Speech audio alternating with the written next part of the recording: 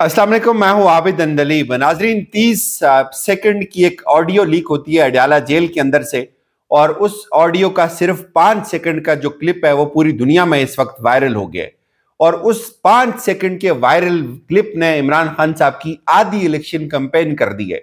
जिस नीयत से ऑडियो को लीक किया गया था, वो उल्टा मुँह के ऊपर पड़ गई है, और अब इमरान खान के जो दीवाने वो इमरान खान की आवाज़ सुनकर झूम उठे ये ऑडियो क्या है?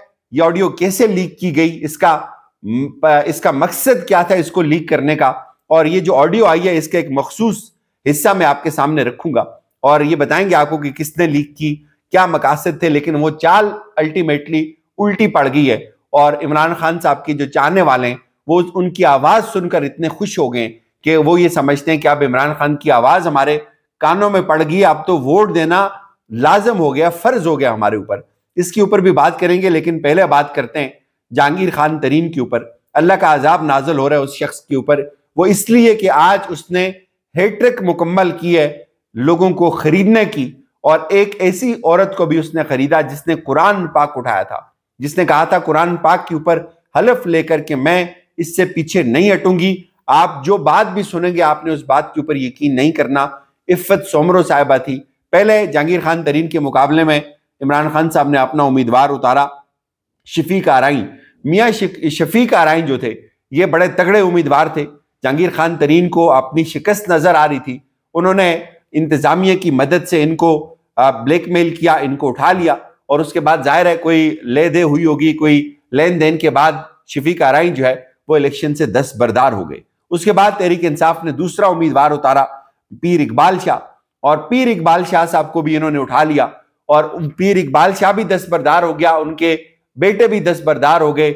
यूँ जहांगीर खान तरीन ने सोचा कि अब उससे इलेक्शन कोई नहीं छीन सकता और वो इस मैदान का फाते करार पाएगा।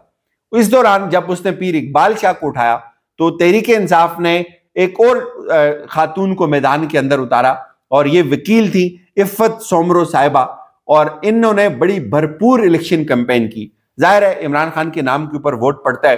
और जहांगीर खान तरीन से तो बहुत ज़्यादा नफरत कर रहे हैं लोग, और उसकी वजह आपके सामने है। और जब इन्होंने इस खातून को मैदान के अंदर उतारा तो तरीन जो है वो उसकी टांगे कांपने लग गई।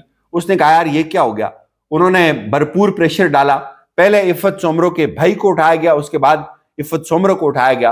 और इस दौरान जब उनका भाई उठाया जा रहा था तो इफ़त सोमरो ने कुरान पाक के ऊपर हलफ लेकर एक वीडियो रिकॉर्ड की। उन्होंने कहा कि, मैं कुरान पाक के ऊपर हलफ ले रही हूँ कि मैं इमरान खान के साथ रहूँगी, मैं आप लोगों को मायूस नहीं करूँगी, और अगर आप कोई भी बात सुनेंगे, आपने उसके ऊपर यकीन नहीं करना।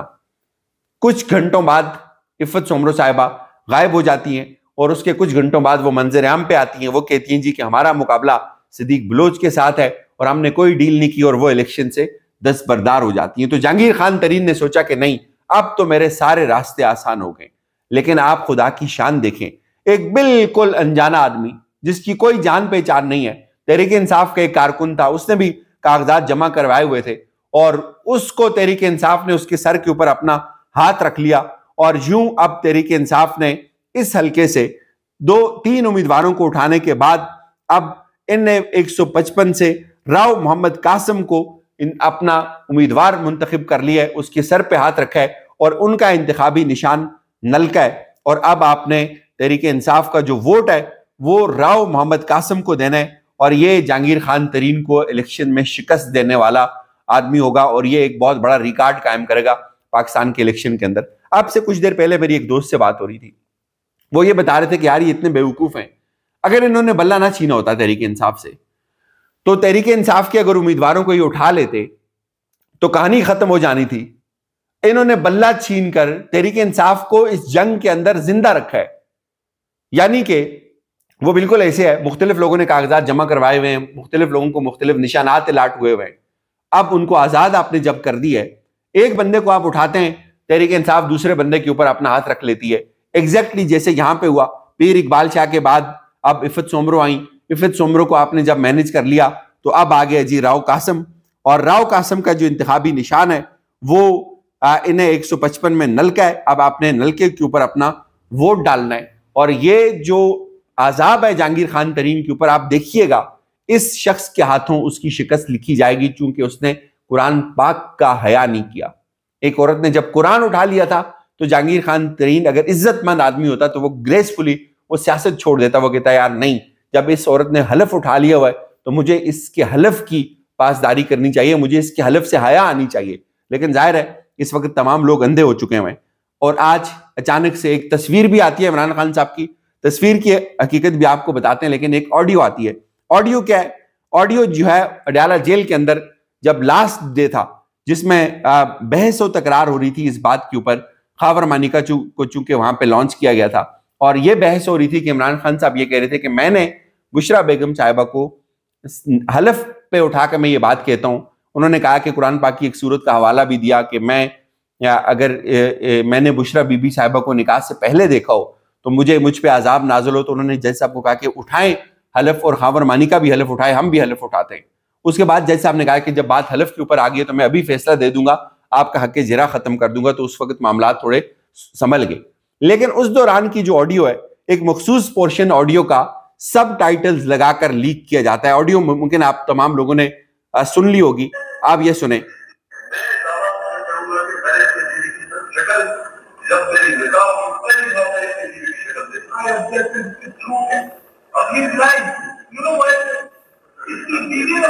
ये आपको यहाँ पे समझ नहीं आएगी, मैं आपको इसके सब टाइटल के समेत बता देता हूँ कि ऑडियो है क्या बेसिकली ये उस दौरान अदालत के अंदर होने वाली गुफ्तगु है। ये कैसे लीक हुई मैं आपको बताता हूँ, इसका मकसद क्या था और वो मकसद कैसे उल्टा पड़ा है, ये भी बताते हैं। लेकिन ये एक तकरीबन कोई इकतीस तीस सेकंड की वीडियो है और इसकी सब टाइटलिंग हुई हुई है।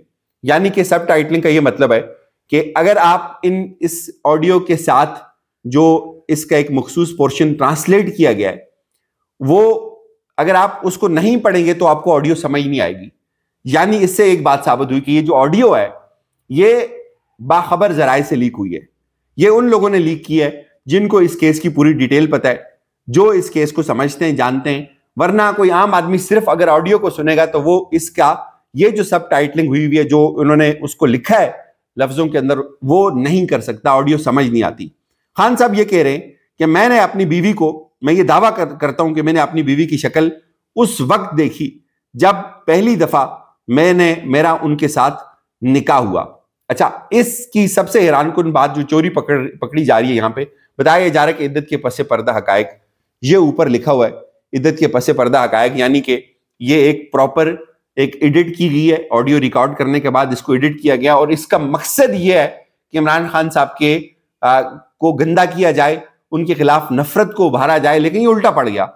आगे क्या यहाँ पे जब इमरान खान ये कहते हैं कि मैं हलफ उठाता हूँ कि मैंने बुशरा बेगम साहिबा को निकाह के बाद देखा है और खाबर मानिका जो है वो यहाँ पे ये कहता है कि आई ऑब्जेक्ट ये झूठ है ही इज़ लाइंग ये झूठ बोल रहे हैं वो इमरान खान साहब को मुखातिब करके कह रहे हैं।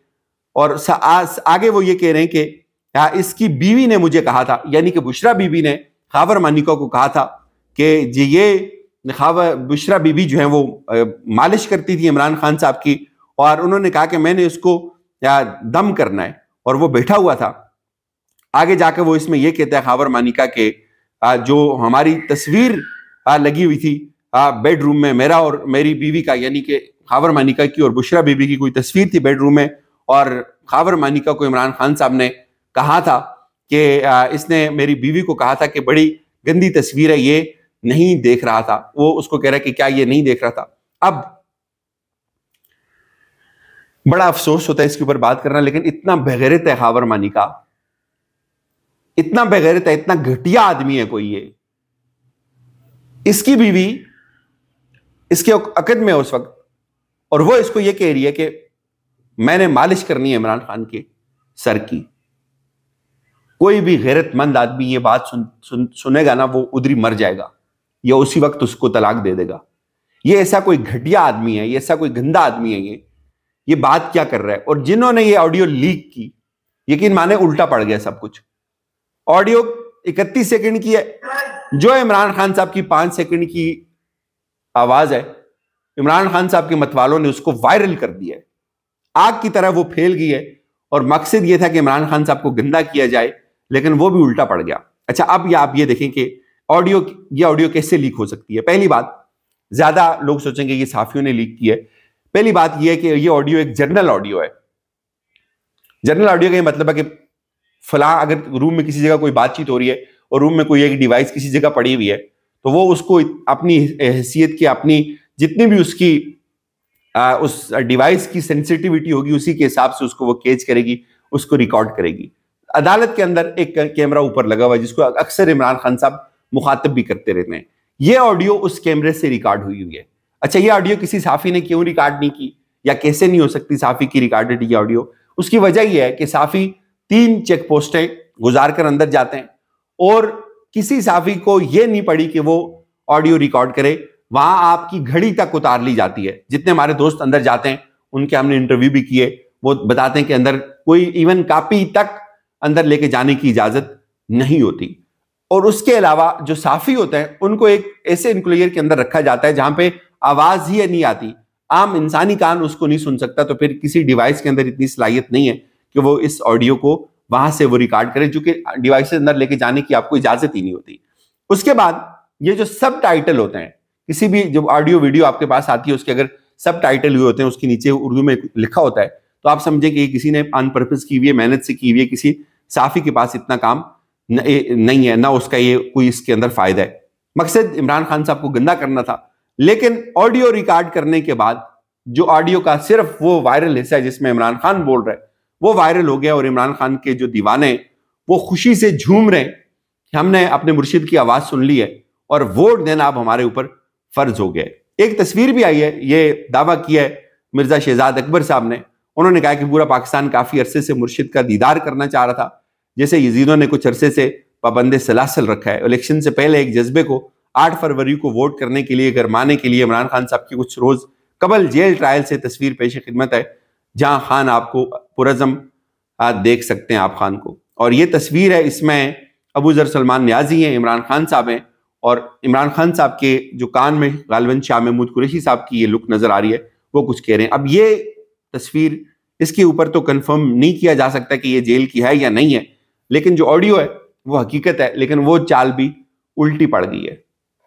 जितनी चालें मजीद चलाएँ, चलाई जाएँगी, वो भी उल्टी पड़ेंगी, चूँकि लोग तो दीवाने लोग इमरान खान की आवाज़ सुन के खुशी से झूम रहे हैं, और लोगों को एक नई एनर्जी मिल गई है इससे। पर्पज ये था कि लोगों को बताया जाए कि इमरान खान की किरदार खुशी की जाए। लेकिन ये हरबा भी उल्टा पड़ गया इजाज़त दीजिए अपना ख्याल रखिएगा। हाँ, एक सवाल आपसे ज़रूर है कि इस ऑडियो को सुनने के बाद क्या आप इमरान खान साहब को वोट देना तर्क कर देंगे? या आप आठ फरवरी को वोट देने के लिए जा रहे हैं?